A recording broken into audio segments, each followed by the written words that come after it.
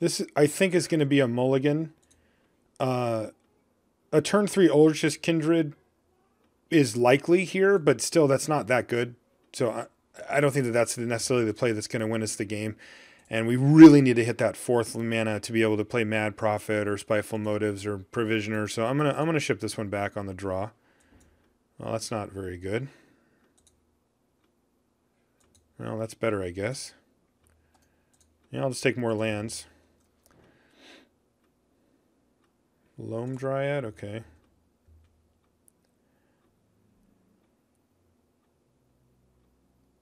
Well, I wasn't going to fire off Tormenting Voice, but the Hinterland Logger is going to kind of force our hand here.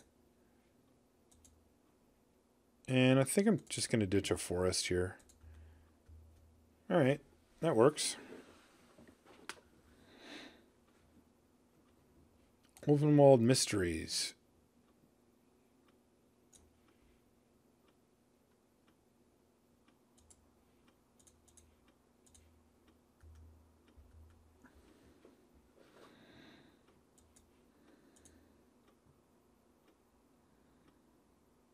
Ooh, the plot thickens.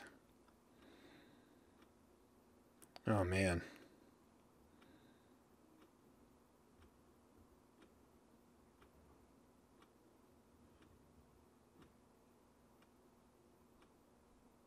Okay.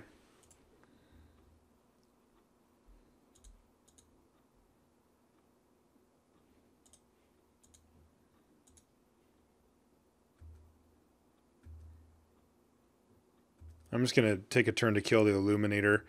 It's the only thing that can really get in and attack us right now, and it, it leads to the most, you know, the most awkward stuff for us with this mysteries. But, I mean, we're pretty clearly behind here in any scenario. Mulligan to five is a is a tough one.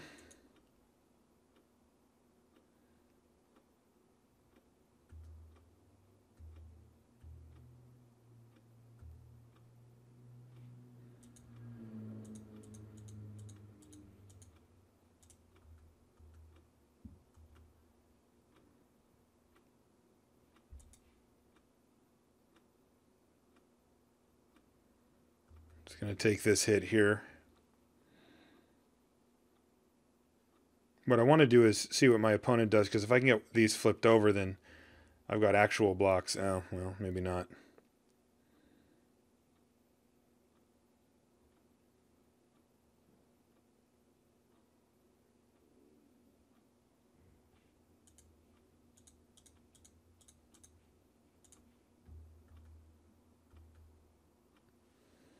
Our opponents really just emptied out their hand here.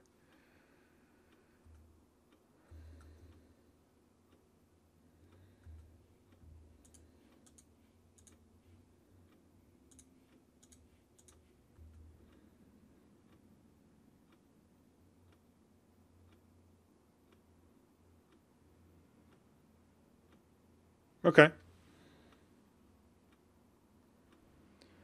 That kind of works for us, actually. It looks like our opponent was content to just trade off there because they're going to get value from Ulvenwald Mysteries anyway. But, you know, that is a scenario that we can get pretty well punished on.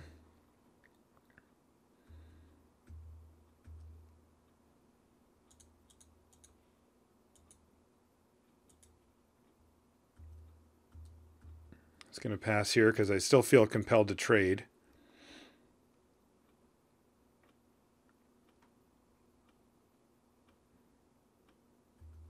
At 8 life, we just lose too quickly to that Bygone Bishop.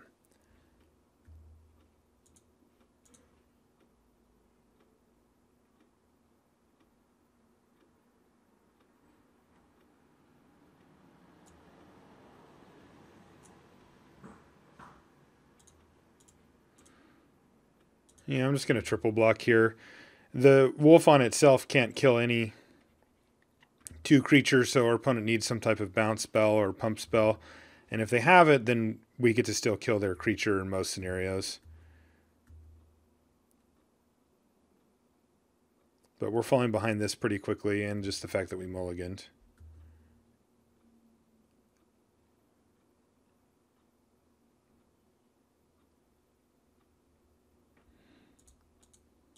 I'm just going to get rid of this Forgotten Creation. We can't kill this. Or else we would.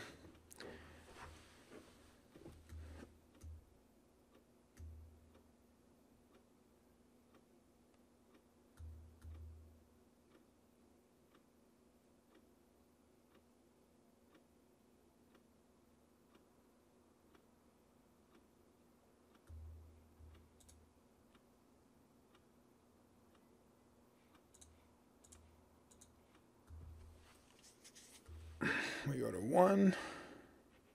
Sorry, zero. Either way. All right. Um, is there anything we can do?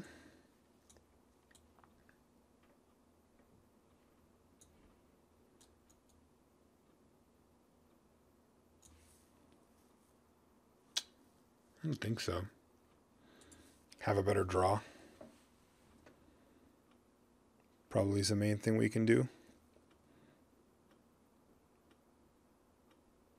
Because we have draws for this deck that really punish that type of draw that our opponent had.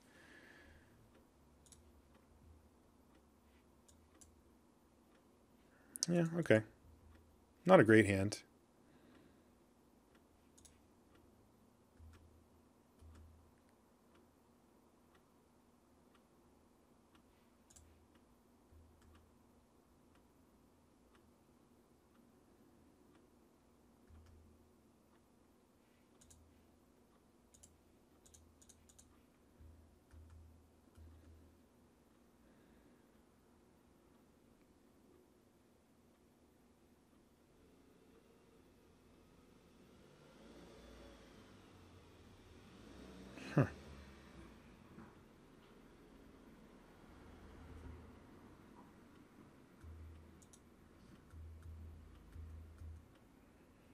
Well, this is not going well at all.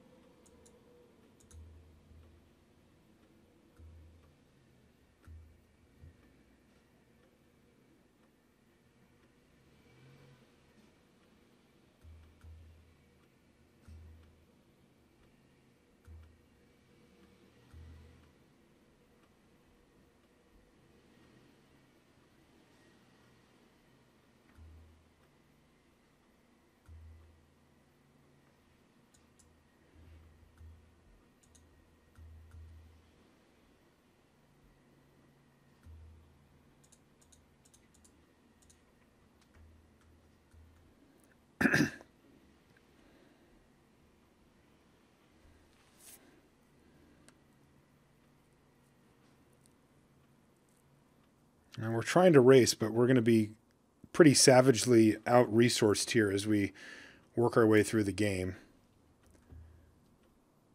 So we're going to try to pounce on our opponent before they get a chance to capitalize on all these extra clues that they're providing or that they're generating. Don't know if we're going to be able to though.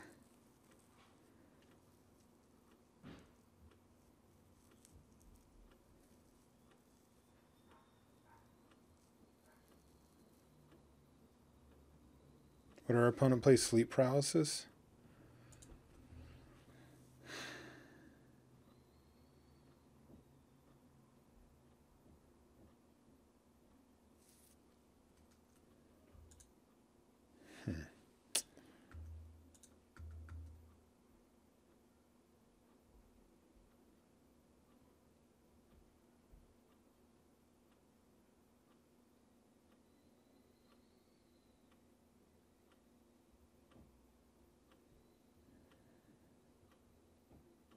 This is an interesting position. So we can go for spiteful motives, which lets us hit for six right now. I'm assuming my opponent's not going to block. Uh, but then that takes away our ability to play aim high or inner struggle.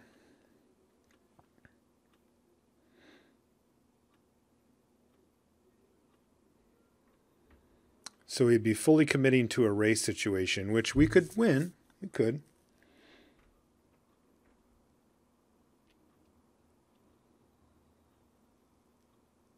I think I'm going to leave up aim high, though. Main reasoning is just that we get to kill the Erdwal Illuminator, probably. And then also we get to have an, have an attack lined up. And it also lets us keep the inner struggle and uh, alive in case that becomes something that we want to do.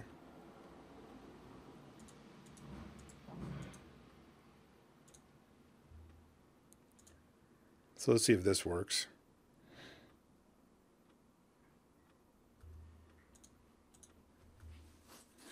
Block. Mm-hmm. Okay. Well, our opponent used up their whole turn there, and we still get our Intrepid Provisioner on the untap, so that's decent. So I could attack for 9 and put them to 2.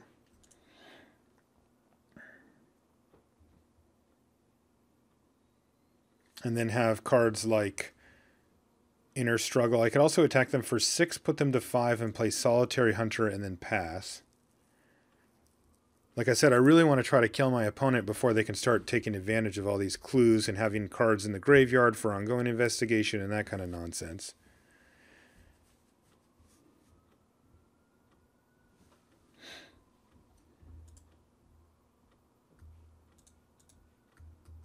Okay, let's get in and let's play the uh, Solitary Hunter here. Gives us a pretty wide berth here, and with a land, we could play a Reduce to Ashes or just Inner Struggle, Spiteful Motives, if, if that makes sense. And also it means that we're only taking one hit from the Erdwal Illuminator and not the Veteran Cathar on the ground. Puts our opponent in a pretty tough position, really.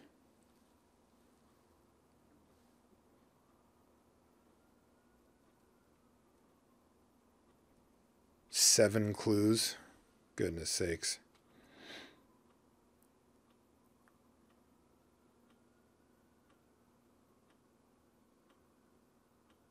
Okay, they played Gone Missing. All right.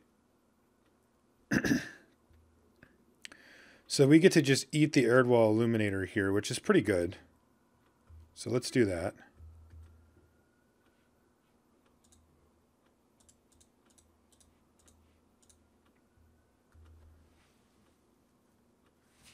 And now we have a lethal spider that our opponent has to deal with. Although, if they crack or if they use their ongoing investigation, then it, it won't be lethal anymore. But still, then that's their mana disappearing, and I'm fine with that.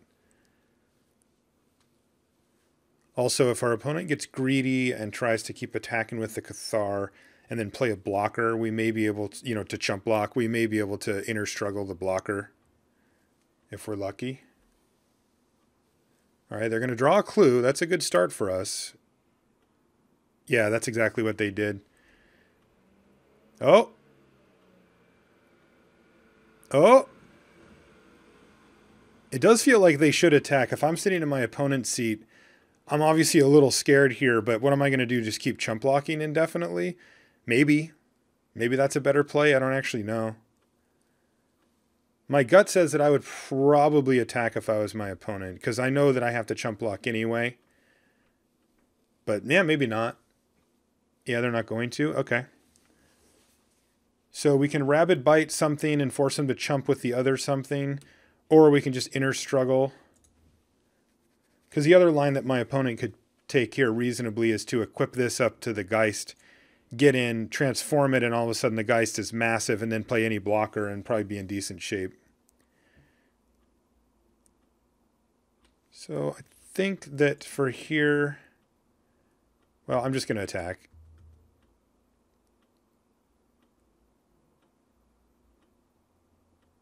And force a chump block here.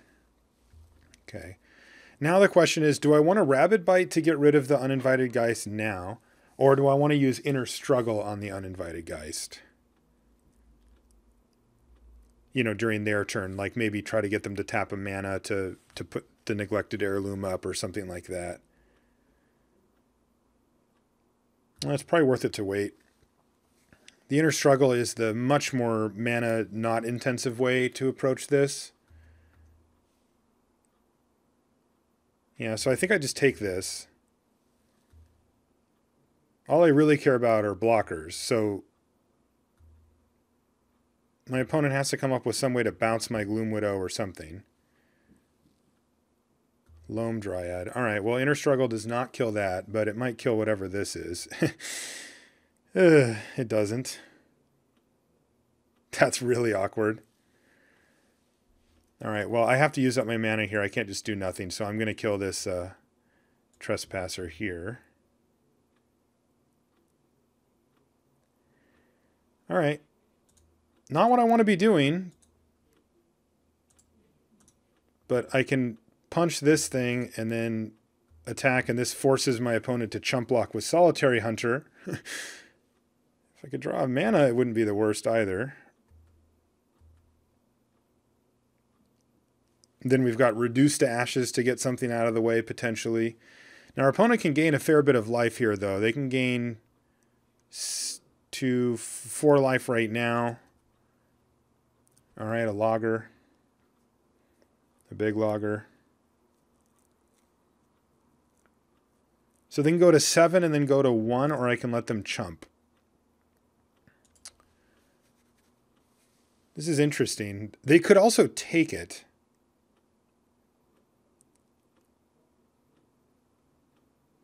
They could take the hit, gain two life, go to one. Yeah, I'm gonna I'm gonna give them the option to chump block. I think. Because then I can just play like a Gatstaf Arsonist or whatever post combat here and just be ready to just smash. If they chump. If they don't, I'm just to reduce this thing to ashes. All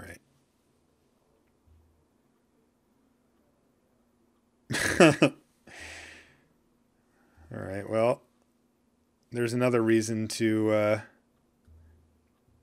I guess nothing would have worked there, to be honest.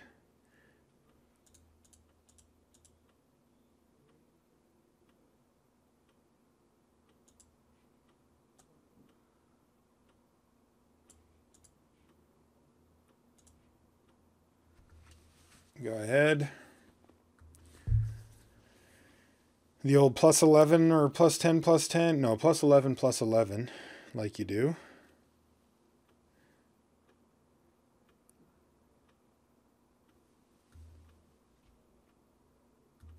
Uh, that's annoying. All right, let's see if this works. This will not kill our opponent, but it will get them to two or three. Unless this doesn't work. Okay, that's fine.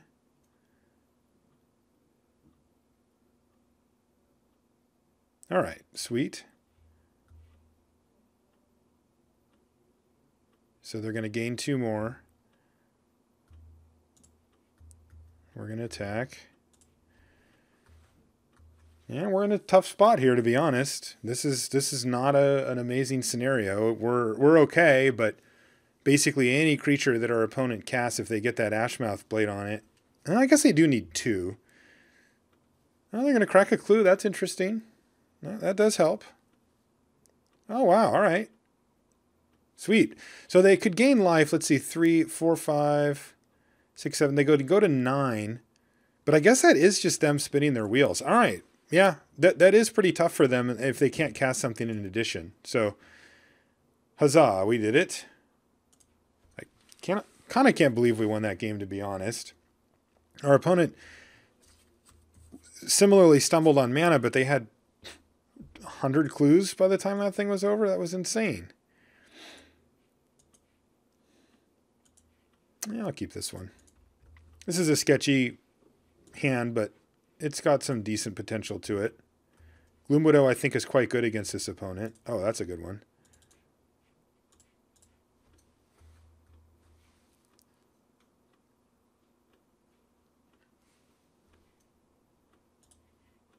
I think it's probably better for me to just play the Gloom Widow here and not flip slash attack, do anything shenanigans wise. Briarbridge Patrol. All right.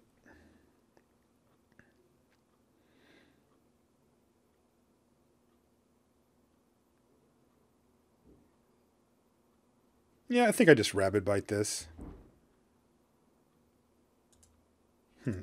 Do I actually? Could also just attack and look for the aim high kill here. That does get them a clue, which is a little bit annoying, but not a huge deal. It's probably better. And if they don't block, I can just Rabid Bite post-combat.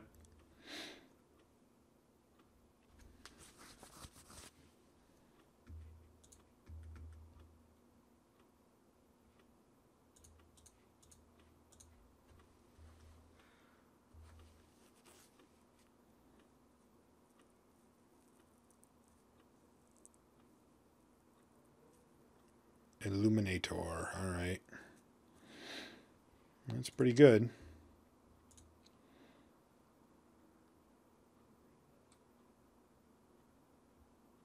It's a little reckless just to run Spiteful Motives out here, but it could be worth it. I also could just Rabid Bite. It's probably better to just Rabid Bite. I'm going to Rabid Bite the Pacifist. In case it gets bounced, then I can just replay.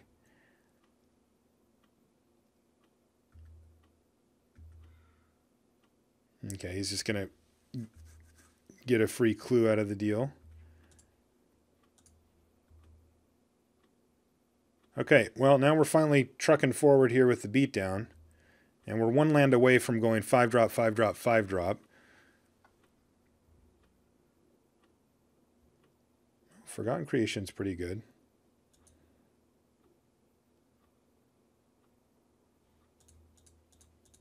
All right, I'm just going to play the Arsonist here so that I can attack with both. If my opponent wants to trade, that's fine. I don't think that they do. Yeah, they definitely didn't. Wow, had three forests in hand. Now we're still applying a lot of pressure here. A lot of pressure. We actually have lethal next turn if, if everything gets through and we resolve spiteful motives, which is probably a little bit dreamy, but still. Also, where the hell are our Howlpack Resurgence? We have not drawn a single one, or at least played a single one. It's the best card in our deck by a lot. Just can't seem to find one.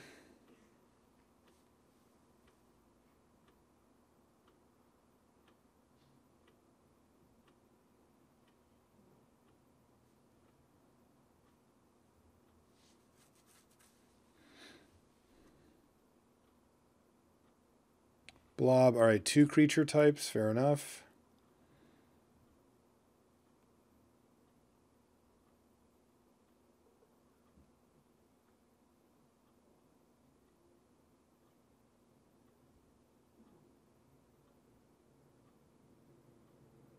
Looks like they're thinking about doing something with this two mana. They've got the clue sitting there. They've got one creature in the yard. So they can spend that mana any number of different ways. But if they have something like a Just the Wind here or something like that, they may be considering just getting rid of the Arsonist for now, setting us back a significant amount and just bashing, that gets them another clue and kind of gets the chain rolling. I don't think that we're really in a position to play much around it. I guess we could by just keeping on playing creatures instead of running out the spiteful motives, but if our guy gets blocked or double blocked, we'll probably just go for, for a kill on either of these two rares. All right, it was a Loam Dryad. Okay, fair enough.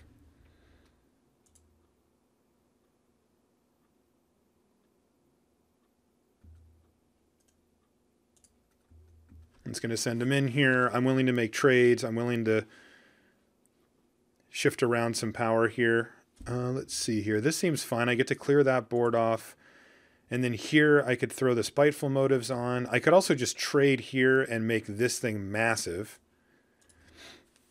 That would kill both of the creatures. I also have the option of putting Spiteful Motives over here if I really want. That's probably better just to keep the big creature. So I'll do that.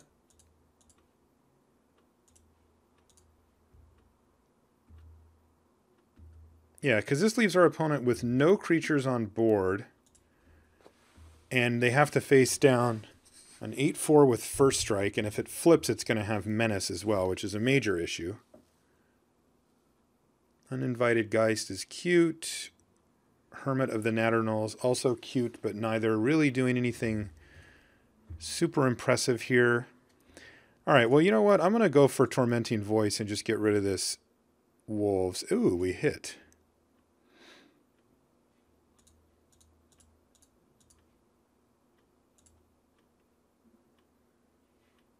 I'm going to reduce this thing to ashes. Attack for lethal, so this is going to force the chump and just try to keep as much heat on our opponent as possible.